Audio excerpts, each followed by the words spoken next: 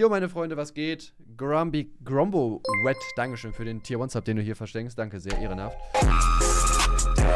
Das abonniert Active User. Wisst ihr, Leute, ihr fragt euch wahrscheinlich, warum seid ihr noch Jungfrauen? Antwort, schaut in den Spiegel. Aber das, was ihr euch wirklich fragt, wie groß kann YouTube schon sein? Wenn man denkt, man kennt eigentlich schon so alle großen YouTuber so, weil die auch mehr oder weniger gemeinsam Stuff machen. Ah, Rezo-Video über Corona, Digga. Danke, dass du es hier reinhaust gerade, einfach so, Freestyle-mäßig. Das wollte ich mir wirklich noch angucken. Ich hab's mir nicht gespeichert gehabt. oder äh, Rust zusammenspielen, bis jemand einen unangebrachten Joke bringt im falschen Kontext. Ja, das Skript steht vielleicht schon ein bisschen länger, but my videos need some time to produce this. Und boom! Ein YouTuber oder eine YouTuberin mit einer Ich Million mag den Dude nicht. Ich mag ihn, aber der Bart ist halt irgendwie schon eine Anmaßung, ne? Und ihr habt noch nie von ihr gehört. Deswegen abonniert, damit wir auch eines Tages das mit Batan Cosplay machen können. Äh, Schatz feiert. Aber doch, so läuft's gerade nicht so. Ähm, Schatz feiert. Kennt ihr zum Beispiel El Mago? El Mago? Das ist mein Lieblings-YouTuber direkt nach dir. Cringe, Bro. Ich bin nicht auf Platz 1, aber auch so weird, wenn jemand wie El Mago bei euch Platz 1 ist. No front. Look at his thumbnails, dann wisst ihr, glaube ich, was euch erwarten wird. Vor allem bei dem läuft gar nicht mehr so krass, ne? Ich hab den sogar mal. ich kann es nicht vorlesen, weil ich gesperrt werde. Ein Kommentar ist schon lustig, auch wenn es einfach nur eine Beleidigung ist. Ähm. Ich habe mit El Mago sogar mal gechillt. Letztes Jahr Gamescom? Vorletztes Jahr Gamescom, genau, 2019. Äh, da war ich am Samstag noch bei so einer äh, Party irgendwie. Da haben sich so YouTuber getroffen in so einem Club, da bin ich da auch noch hingegangen. Und da habe ich mit ihm sogar geredet. Also ich finde den auch eigentlich mega korrekt. Ja, mit dem Content kann ich halt tatsächlich auch nicht viel anfangen, muss ich halt ehrlich gesagt zugeben. Aber so ist der halt ganz sympathisch, ne? Wir haben einen getrunken, ne? Am Ende sind wir noch auf Toilette gegangen. War echt ganz cool, ne? Je größer die Augen, desto größer die Views. Ach, die haben Digga, hätte man sich mal rechtzeitig einen Platz im Reaction-Game gesichert. Oh, so ein Scheiß, Mann. Ist schon wieder Zeit für ein neues Video. Gar keinen Bock auf ein Video zu reacten. Warte, ich muss kurz mein Gesicht dehnen. Kata, ein bisschen die Augen noch größer machen. Perfekt, danke. Weil die scheinbar einfach eine Galerie von ihren ausgeschnittenen Gesichtern haben, was schon komisch ist. Im Video machen wir noch sowieso genug Gesichtsausdrücke. Aber äh, zurück zu El Mago, bitte. Ja gut, aber das macht ja jeder YouTuber. Also selbst ich mache das halt so. Ich habe Kevin mal immer, ich, ich schicke Kevin immer so einen Ordner mit Bildern, immer mal wieder, wo ich halt irgendwelche Gesichtsausdrücke mache, die er dann für Thumbnails nutzen kann. Also ist ja einfach klug, das so zu machen, weil klar, man kann jetzt halt immer irgendwas aus dem Video senden, aber voll oft, ähm, na wohl, wie oft passiert das, Digga? Wie oft macht dein Cutter auch dein Thumbnail? Weil ich cutte das ja selber oder Bakur, der Thumbnail macht immer äh, Kevstar-Style. Beziehungsweise sollte ich ja sagen. Äh, ich meine. Yes, I'm not kidding. Aber ich erkenne jetzt irgendwie den Sinn von dem Video noch nicht so ganz. Ich weiß nicht. Hashtag Margang. Bei ihm würde ich gerne so den Werdegang sehen, weil ich habe noch nie sowas gehört wie, ey, hast du schon El Magos neues Video gesehen? Die Reaction von Unge auf El Digga. Mago war echt krass, ey. Ey, ich habe gerade so einen richtig fetten Hashtag Margang gemacht. Digga, Real Talk, ne? Ich habe schon seit Jahren nichts mehr von El Mago gehört, also wirklich nicht. Kriegt ihr was von dem mit? Jetzt will ich selber mal auf seinen Kanal gehen. Also ich habe halt das eine Mal mit dem geredet, aber ich habe nie wieder irgendwas von dem mitgekriegt. Obwohl der eine Million Abonnenten hat, aber der, ist, der existiert irgendwie so gar nicht, ne? In der YouTube-Bubble irgendwie. Ja gut, Klicks sind halt, ja doch, 100.000, sind- ja okay, Digga. Wenn du dich damit zufrieden gibst, ist das okay, weißt du. 50.000 ist natürlich schon so, ui, Digga, ich würde mir langsam einen Job suchen, wenn ich du wäre. Aber der macht halt so diese, man kann sich anders sagen, halt Gamme-Reactions. ne? Da passiert irgendwas krasses so, wow, was? Ist das gerade wirklich passiert? Boah, heftig. Ist halt kein Content so, ne? Akinator kennt mich, ja, Bro, natürlich kennt er dich, Digga. Er kennt jeden großen YouTuber. Okay, genug Logan bzw. Jake Paul äh, Cosplay gemacht und ich habe auch nichts gegen äh, El Mago bzw. Mats. Seine Community bzw. seine Zielgruppe ist auch etwas jünger, wenn man sich die Kommentare anschaut. Also, äh, anyway, nicht äh, mein Content so. But äh, dazu später mehr. Ups. Wenn Ja, man sich seine mit Kev ist auch mega anschaut, allesamt Reactions vor zwei bis drei Jahren. Manchmal reichen, glaube ich, wirklich legit so das ein oder andere Dankeschön, virale Video und so ein bisschen Personality, damit die Leute geguckt sind und bam, you're good to go. Ja, es war ja damals mit Pharao genauso, ne? Also hier, wie heißt er denn heute? Der heißt nicht mehr Pharao, sondern hier dieser Typ, der angeblich reich ist, ähm, der angeblich mit Bitco- Bitcoin zu viel gemacht hat, hat sich ein Haus gekauft. Was kann ich noch über ihn sagen? Mir fällt der Name nicht. Kyle Hoss, genau. Äh, bei dem war das ja auch so, ne? Er hat ja auch so billige Reactions auf solche Videos gemacht und dann, äh, ja. Lief's? Lief sogar ziemlich gut, hat er dann irgendwann aufgehört, ne, damit. Seine Beschreibung ist irgendwie auch so ein bisschen dreist. Meine Wunschliste an dich geht ganz schnell. Die Welt dreht sich immer um den YouTuber. Habt ihr wieder was gelernt, Kids? Erstens, du abonnierst mich. Zweitens, du aktivierst die Glocke. Drittens, du gibst einen Daumen hoch. Viertens, du folgst mir auf Instagram, TikTok etc. Ab jetzt wird's wirklich wichtig, weil es geht nicht nur um Reichweite, sondern auch um Fünftens, du benutzt meinen Fortnite Creator Code. Sechstens, du wirst exklusives El Mago Kanalmitglied. Exklusiv. Was ist daran exklusiv? Siebtens, du gönnst dir freshen, günstigen El Mago Merch. Äh, was? Ihr denkt, es ist ein gewöhnlicher schwarzer Pullover? Oh Mann, du übertreibst mal so active. Sein Merch wird's wohl kommen, das auf dem Pullover stehen. Ich übertreibe nicht.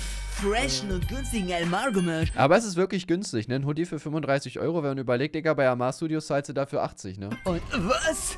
Nicht auf Lager? Hashtag morgen. Oh, oh, oh, hallo, hübsche Frau. Was steht denn da auf deinen Brust? Nimm doch einfach direkt mein Portemonnaie, wenn es auf deiner Wunschliste steht. Vielleicht auch noch ein Girl. Die 18 ist. Aber andererseits, wenn man im Reaction-Game drin ist, da lange äh, relevant zu bleiben, ist, glaube ich, besonders schwierig. Obrox. Kennt ihr etwa Obrox nicht? Ich auch nicht.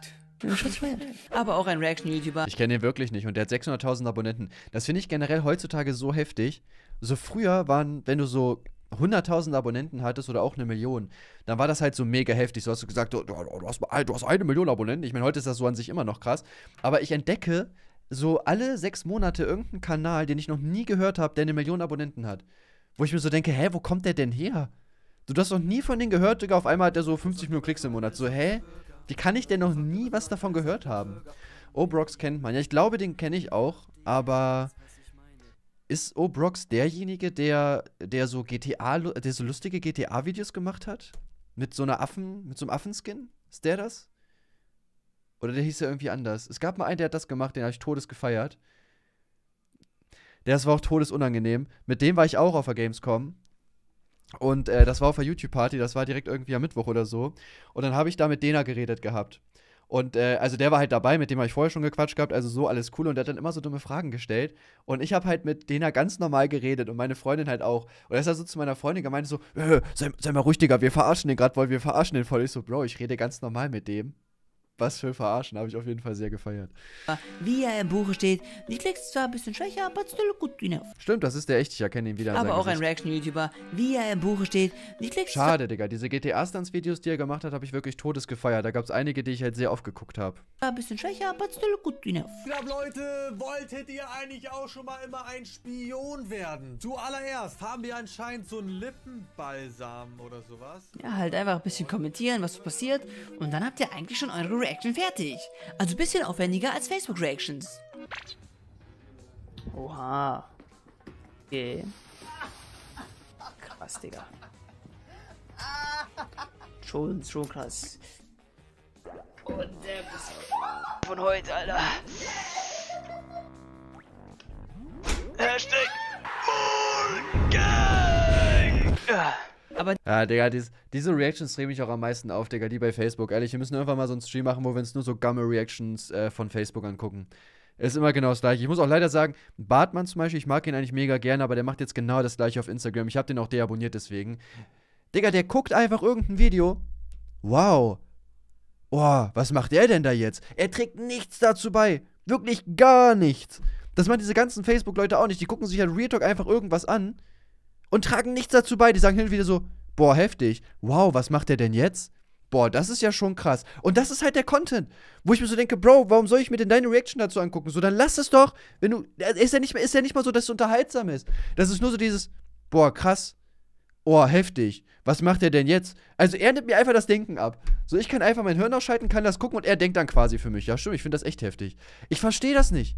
Ich verstehe es halt wirklich nicht. Leute, also weißt du, wie krass Leute Digga, das ist halt, ist, sowas triggert mich halt Real Talk einfach, Mann. Ich weiß nicht, was das halt soll. Ja, quasi eine Unge-Reaction, aber auf Facebook und Instagram, deswegen ist es schlecht. So, also entweder du machst halt vernünftige Reactions, wo du dir halt Mühe gibst, oder du lässt es halt einfach.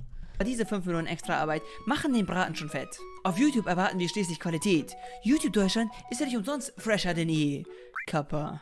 Wie schon angesprochen, die Kommentare sind schon gut voll mit Kindern, sowohl bei Mats als auch bei Obrox. Und what can you say? Solche YouTuber leben ja auch teilweise davon, dass äh, sie genug Kinder finden, die halt noch keinen Anspruch haben. Bei Elmago sind es etliche in die Richtung, hey, ich heiße Charlotte, ich finde dich so cool und sympathisch, du bist Sympathisch, ja, Mann. Alter, Digga, Kilburn. Junge Stufe 1 ab 6 Monate im Voraus. Vielen lieben Dank. Äh, Ehre auf jeden Fall. Äh, danke sehr, Bruder. süß, kannst du mich bitte auch grüßen? Küsse von einer vermutlich Elfjährigen, denn der Account heißt Sabine und gehört wohl der Mutter. Du musst widerstehen, Mats. Streich endlich eine Elfjährige aus deiner Bucketlist, ich meine aus deiner Wunschliste. und bei Obrox sind es, glaube ich, mehr so die äh, elfjährigen äh, Boys. Du musst widerstehen, Obrox! Zeig doch mal das Video normal und kommentiere die ganze Zeit und lass es doch mit deinem Gesicht. Man will das Video sehen und nicht dich die ganze Zeit. Wie viele Jahre Pech wirst du haben? Nichts, 50 Jahre Pech. Aber für mich null Pech und pff, Glück. Junge, wie oft willst du noch an dein Hirn? oh, Junge, ey. Oh. Real Talk, ich habe solche Kommentare nicht bei mir. Real Talk, Digga. Zoomen, du redest auch so viel in letzter Zeit. Ich feiere deine Videos trotzdem. Danke, Makoto, mal für die dein 19 Gesicht Monate. zu zoomen. Und Blizzard, weißt du, was mich nervt bei deinen Also, ich reacte gerade, warum sage ich danke, Digga? Videos, dass du immer so oft ranzoomst an die Ransummst. Oh, Junge, Alter. Ich feiere sowas mit. Ich liebe es, wenn Leute kein Deutsch können. Äh, Wenn die solche Fehler machen. Mal ein Fehler ist ja okay. Oder wenn man jetzt mal ein Wort ungefähr falsch schreibt. Also ein bisschen, weißt du, aber ransummst. So, das ist ja, das ist ja alles falsch. Da ist ja in einem Wort drei Fehler. Oder? Z, und M fehlt. Ranzoomst. die Cam. Du bist schieße, mach mal, dass man das Video sie, sie, sie, sie. Nices Video. Hashtag 60 Minuten. Geil. Nee, das ist nicht dasselbe. Geil. Deine Videos sind cool. Teilweise machen die halt auch Videos. Und what a surprise. Noch ein kleines Kind und das ist basically die Zielgruppe dieser YouTuber. Nicht, dass es schlimm ist oder so, ne? Ich meine, Views sind Views. Right. Also um offensichtlich Je jünger, desto besser. Weil die meisten jungen Leute haben keinen Adblocker an. Ich weiß nicht, was ihr gerade dachtet. ein guter Reaction-YouTuber zu werden, braucht ja eigentlich nicht viel. Kinderfans finden, am Anfang ein bisschen Energie vorgaukeln, damit man die Kinder schon hypt, irgendwelche YouTube-Videos auswählen, um drauf zu reacten und eventuell nicht mehr Credits in der Beschreibung geben. Wie bei Obrox. Und eventuell ein bisschen deine Seele verkaufen, weil du innerlich dead bist, aber auf das Geld angewiesen bist. Und dann mit Like ein virales Video haben, um die ganzen Kinderfans abzugrasen. Denn Kinderfans sind ein bisschen wie Free Cash ohne Ansprüche. Man will vielleicht nicht mit denen interagieren, weil ich habe in den Kommentaren fast noch nie ein Herz von Mats mit meinem Partner Clark. Alle Papiere in eine. Wieso macht er ein Playstation mit Clark, Digga? Seine Zuschauer dürfen noch nicht mal, äh, äh, hier, wie heißt es denn? Versicherung machen. Das ist schon mutig auf jeden Fall, ne? Almago gesehen, außer bei sich selber. Aber Hauptsache, sie bringen die Zahlen nach oben. Wenn man jung ist, ist man besonders wie ein Herdenschaf. Was? So viele Abos und Views? Dann feiere ich die Person auch. Und bei Abdel so. Alle sagen, er ist doof nach der Aktion auf Madeira. Also bin ich jetzt auch gegen ihn, obwohl ich noch einen Monat vor dem Vorfall über die genau gleichen 10 IQ-Videos gelacht habe. Und man muss die Kids halt nur richtig animieren. Warte, hat der. War das der gleiche? Alle sagen, er ist doof nach der Aktion auf Madeira. Also bin Wer kann besser lügen? Abder versus Lena. Ey, der kommt wieder, oder was? ich jetzt auch Guck mal, positive Bewertung ist gegen ihn, obwohl ich noch einen Monat vor dem Vorfall über die genau Ich fühle die Kombination so krass. gleichen 10 IQ-Videos gelacht habe. Und man muss die Kids halt nur Hä? richtig animieren und ihnen das Gefühl geben, äh, Teil äh, einer sehr exklusiven Community Er zu sein. selber Kinder-Content. Na ja, gut, ich persönlich muss halt auch sagen, ich finde es ehrlich gesagt nicht schlimm, wenn man auch ähm, eine jüngere Zielgruppe anspricht. Ich meine, das macht ja Paluten halt im Endeffekt auch.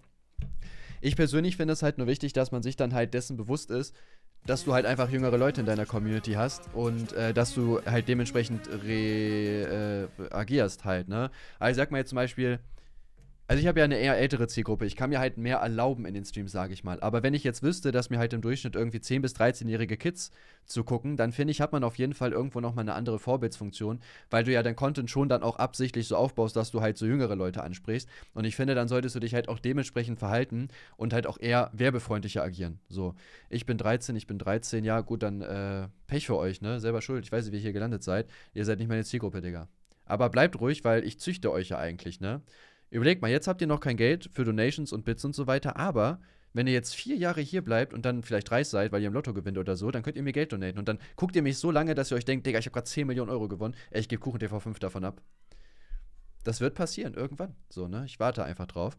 Und, ähm, ja, ich finde halt, ich finde es nicht schlimm, dass man halt Videos für Kinder macht, weil ich sag mal so, Disney, Fillmore, Cosmo und Wanda sind auch alles Serien für Kinder. Da sagt ja auch keiner äh, zu den äh, Leuten, die das erstellt haben, so, machst du Videos für Kinder oder was? So, und äh, warum sollte man halt nicht eine jüngere Zielgruppe ansprechen? Wie gesagt, sollte man halt nur aufpassen, du hast halt dann ein extra äh, Dings hier, wie heißt das? Eine extra Vorbildsfunktion einfach, der, der ich bewusst sein muss, ne? So. Dankeschön, Blizzard, dass du hier einen Zap verschenkst. Und das finde ich ist einfach das Wichtigste. Aber sonst finde ich es halt nicht schlimm, dass man Videos für jüngere Leute macht. Ne, wie gesagt, so ein Paluten oder so macht ja auch Videos halt eher für Kinder. Und das ist ja auch nicht schlimm. So kann er doch machen, ist doch alles gut. Ne? Finde ich halt nicht schlimm, um ehrlich zu sein. Warum sollte man keinen Content für jüngere Leute machen, nur weil man älter ist? Solange man selber Spaß dran hat und dahinter stehen kann, ist doch alles nice, Digga. Oh mein Gott, schafft ihr es Erster in den Kommentaren zu sein? Schreibt's jetzt rein. Oh mein Gott, seid ihr schon bei den ersten 60 Minuten nach dem Upload des Videos dabei? Dann schreibt jetzt Hashtag 60 Minuten Gang in die Kommentare. Oh mein Gott. Hashtag ja, wird Zeit für eine Reaction von mir, oder? Yo, was geht? Hashtag Active Gang in die Kommentare, wenn ihr 12 seid. Ich meine, wenn ihr cool seid, aber ich weiß, dass ihr alle cool seid, deswegen schreibt trotzdem in die Kommentare. Vielleicht grüße ich sogar einen von euch, aber nur, wenn ihr das Video bis zum Ende anschaut. Kennt ihr diese peinlichen Momente, die jeder mal hatte und so peinlich sind? Lasst es mich mit einem Like wissen. Und Guck mal, ich habe gerade mein, mein Apple iPad-Ding hier da von meiner Apple Watch. Warte, wie sehe ich das denn? Ich will das als Rennstrecke haben. Da, guck mal, das soll so eine Rennstrecke sein. Baut die mal einer bitte für Mario Kart. Die ist ja nur heftig, Digga. Kranke Kurven. 1000 Likes weiß ich, dass ihr cool seid. So, genug manipuliert. Äh, schauen wir uns Kann mal das gar Video nicht, an. aber. Okay, sie kommt Egg what moments we can all relate to. gerade aus der Toilette. Ich äh, mache Commentary, Leute. Oh Mann. Ja, das passiert mir auch immer, Digga. Gerade einen fetten Fladen gelegt, Alter, und dann läufst du da mit, äh, mit Klopapier raus, Digga. Jedes Mal. So oft passiert mir das auch, dass ich mir statt mit Klopapierstücken den Arsch abwische, mir eine ganze Klopapierrolle in den Arsch schiebe. So relatable. Okay. Hä? Gelber Schweiß unter den Achseln. Fühle ich extrem. Oh mein Gott, Leute. Wie cool, ey. Ich wusste gar nicht, dass man einen Schal so benutzen kann. Die Mädels von der Hashtag ActiveGang. Würdet ihr sowas tragen? Dann schreibt mir das in die DMs, wenn ihr volljährig seid. Und die anderen Mädels kommentiert einfach unter dem Video. Ich lese mir das eh nicht durch. Okay, rote Schuhe. Cool. Eher ein Frauenproblem. Äh, Männer tragen keine Schuhe und tun absitzen. Äh, ich muss natürlich hier das richtige Geschlechterbild aufrechterhalten. Okay, ein 3D-Stift. Oha, als ob. Ja. Äh, Es sieht nicht nur, dass das übelst scheiße aussieht, es dauert auch Jahre, bis du damit fertig bist. Das sieht ja aus wie Spaghetti. Würdet ihr sowas tragen? Ich liebe meinen Job. Oh, diese Masken so nervig. Aber wichtig, Leute. Ich nehme meinen Bildungsauftrag sehr ernst. Wobei so ein kleiner Shitstorm, wenn ich so auf Querdenker tue und so meine Kinderfans manipuliere. Na egal. Oh Gott, Sonnenbrand. Ah, das Uh, tut was macht bestimmt man weh, jetzt? ey. Das Problem haben wir zum Glück in Deutschland nicht. Aber ich schon in Dubai, wo ich ja keine Steuern bezahle. Und äh, das ist das beste Land der Welt. Ew, Haare unter den Ja, was macht man jetzt? Armen als Frau? Peinlich. Okay, was macht sie jetzt, um das zu lösen? Wait, what the frick? Okay, Nein. Nein, Digga. ähm, äh, das nicht, nicht nachmachen, Leute. Als ob die Karamellschmelzen das auf die Haare machen und das dann als Rausreißding benutzen. Ach du meine Güte. Oh, was ein Zottelmonster. Das ist immer doof, wenn man längere Haare hat. Was? Sowas habe ich ja noch nie gesehen. Endlich weiß ich, wie ich meine Haare in Ordnung kriege. Oh yeah! Lifehacks! Oh, lass mich eben kurz gucken, wie lang schon die Aufnahme geht. Ja, das äh, reicht schon für 8 Minuten. Äh, wie beende ich jetzt das Video? Und ein Abo da, Freunde. Und check eins mal BC aus. Einfach draufklicken. Und haut da rein. Bis zum nächsten Mal. Ciao, ciao. Sitzt der hinter einem Greenscreen? Der sitzt wirklich hinter einem Greenscreen, oder? Wenn du mal so guckst, das sieht echt ausgeschnitten aus irgendwie. Warum sitzt der hinter einem Greenscreen? Der könnte sich doch die Wand auch einfach so machen, oder nicht? Oder sieht das nur so aus? Ach, so einfach geht's. Okay, okay. Ähm, ja, wie ihr merkt, Das ist real, die Wand, ach so. ich liebe es, diese Videos zu machen. Sieht er, dann hat er sehr komische Haare. weil ich aufs Geld angewiesen bin oder es zumindest eine nice Nebeneinnahme ist. Wenn ihr mehr davon sehen wollt, lasst es mich nicht mit einem Kommentar wissen, weil ich mir das eh nicht durchlese, sondern mit einem Like und einem Abo. Ciao, ciao. Jetzt Oh, was? Was steht da? Ohne Motivation, das will ich sondern mit einem. Like und einem Abo. Ciao, ciao. Ohne Motivation hat man keine Motivation. Jetzt kurz Real Talk. Im letzten Video über YouTube Deutschland habe ich es schon angesprochen. Ich glaube, wenn man YouTube langfristig machen will, dann führt wahrscheinlich kein Weg drum herum, so zumindest auf einem Zweitkanal, simpleren Content zu machen. Einfach auch finanziell. Auch Videogame Donkey hat ganz zufällig im Dezember gesagt, Yo, ich bin fertig damit, gute bzw. aufwendige Videos zu machen. Dann hat er im Dezember mehr Videos gemacht, die weniger aufwendig waren. Und jetzt seht den Vergleich von November Junge, ja, es ist halt einfach so, und ne? Dezember. Und nochmal Markiplier, der das schon immer so gemacht hat. Boah, Junge, 238 Millionen Views im Monat. Das nur finanziell gesehen. Denn andererseits ist man gefühlt irgendwann halt out of ideas. Traurig irgendwie. Man setzt sich den Maßstab ja nach. Ja, naja, keine Ahnung, das, das Ding ist halt einfach, auf YouTube äh, wird man halt für Werbung bezahlt. Ne? Und je mehr Videos du machst, desto mehr Werbung kann natürlich auch geschaltet werden, ist ja ganz klar. Ne? Und wenn du natürlich nur ein Video in der Woche machst und das kriegt 100.000 Aufrufe, dann kriegst du für ein Video Geld. Wenn du in der gleichen Zeit aber drei Videos machst und du hast bei jedem 100.000 Aufrufe, kriegst du halt dreimal so viel Geld. Ne, deswegen, es ist ja genauso, wie er sagt. Also, um von YouTube halt sehr gut leben zu können, brauchst du einfach einen Zweitkanal. Ne? Ich habe das ja auch zum Beispiel jetzt gemacht vor zwei Jahren mit KuchenTV Uncut. Da habe ich ja auch 2019 gestartet. Und jetzt zum Beispiel ist es halt echt so, also der KuchenTV Uncut-Kanal, also ich könnte von dem alleine leben. Und ich mache ja nichts, ich nehme das hier gerade auf, ich drücke auf Stopp und lade das so hoch. Ich cutte nichts, ich meine, heißt ja auch KuchenTV Uncut, ne, wäre ja dumm, wenn ich was cutten würde. Und äh, ja, es ist halt wirklich, es ist krass, ne, was du mit, äh, was du auch mit wenig Arbeit verdienen kannst, wenn du halt ein bisschen Reichweite hast, ne. Und ja, bei Jim Bam ist das wahrscheinlich auch so. Also ich sag mal, jeder YouTuber, der halt klug denkt, macht das halt. Ich sag mal, als Zweitkanal sowas wie Reaction zu machen, ist halt einfach mega klug. Deswegen kann ich das zum Beispiel auch voll verstehen, dass halt Julian Bam und Rezo aufgehört haben, auf ihren Hauptkanälen irgendwie ein sehr aufwendiges Video in der Woche zu machen und stattdessen lieber auf ihre Zweitkanäle äh, gegangen sind, wo man halt viel mehr Content bringen kann. So hätte ich auch gemacht. So überhaupt kein, äh, überhaupt keine Frage, weil es halt einfach viel mehr Sinn macht. So ne und ja, könntest du äh, nur von Twitch leben? Mm, nee, ja wohl. Ja, diesen Monat schon. Ähm, aber die anderen Monate waren tatsächlich nicht so unglaublich stark. Ähm, aber ich glaube, jetzt gerade könnte ich das ja. Aber dann, das wäre schon sehr knapp auf jeden Fall, ne? Weil klar, man hat ja auch hohe Ausgaben dann einfach, ne? Auto, Familie, ich habe eine Freundin.